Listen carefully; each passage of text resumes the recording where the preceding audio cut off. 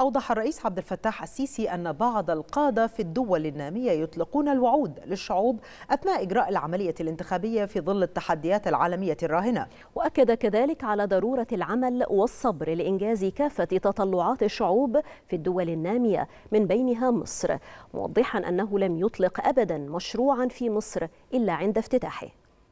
أنا هقول لكم على تجربتي في مصر وباختصار شديد.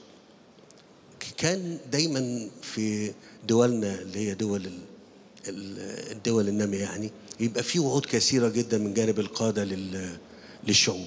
يقول له في الانتخابات أنا هعمل لك وهعمل لك وهعمل لك وهعمل لك. ويعمل له كل حاجة حلوة. أنا لما جيت في الحملة ما قلتش كده خالص. قلت أنا ما عنديش حاجة أقدر أوعدكم بيها غير العمل والعمل والعمل والصبر. ولم أطلق أبدا مشروع إلا عند افتتاحه. إذا مش عايزين نقول وعود ونتحرك يبقى يتبقى أو ينفذ من هذا الوعد. نسبة بسيطة جدا جدا قياسا بحجم الوعد. آخر كلمة هقولها فخامة الرئيس.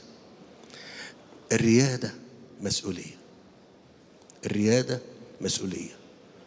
لما تكون دول متقدمة وغنية وعندها التكنولوجيا وعندها المعرفة بيبقى عليها مسؤولية تجاه الآخرين الذين لا يمتلكوا ذلك.